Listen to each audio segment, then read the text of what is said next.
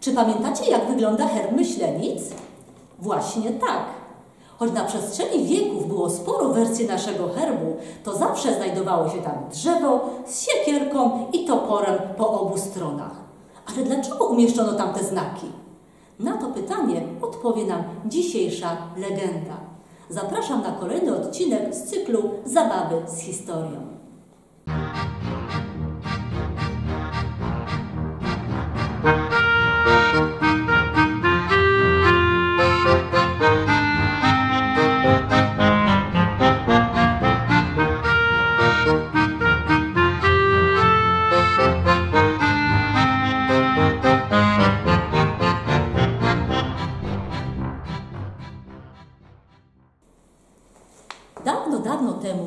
Wokół myślenic rosły stare bory, a drzewa sięgały nieba, żyło sobie dwóch braci, Jakub i Józef. Obaj bardzo się kochali i wspólnie uprawiali ziemię. Pewnego razu ich ojca zmogła ciężka choroba. Wezwał on wtedy synów i polecił im, aby po jego śmierci podzielili między sobą całe jego gospodarstwo pola uprawne, zwierzęta i lasy. I tak się rzeczywiście stało. Lecz gdy ojca zabrakło, bracia zaczęli się ze sobą kłócić, jak to często bywa przy podziale majątku. Zachłanny Jakub chciał oszukać brata i wziąć więcej ziemi dla siebie, ale Józef nie dał się tak łatwo wystrychnąć na dudka. Bracia, którzy niegdyś tak się miłowali, teraz oddalili się od siebie. Założyli dwie oddzielne wsie i przestali ze sobą rozmawiać. Z czasem, aby powiększyć swoje pola uprawne, zaczęli karczować las porastający okoliczną górę. Jeden wycinał drzewa od północy, drugi od południa.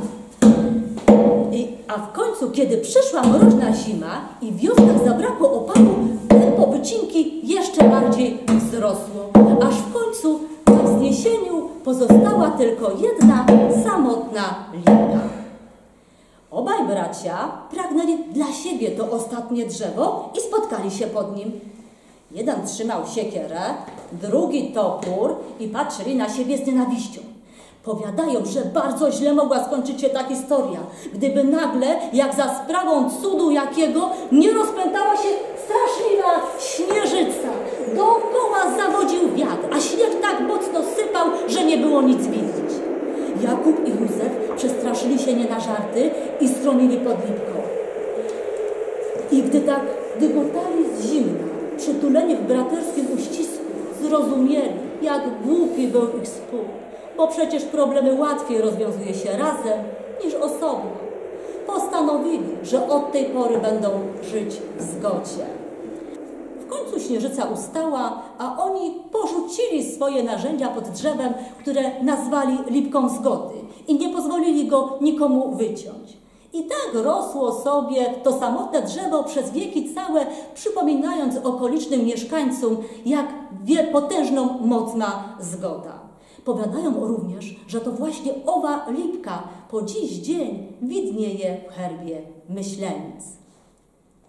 Pamiętajcie jednak, że choć to piękna legenda z ważnym morałem, nie dawajcie jej wiary w kwestii naszego herbu.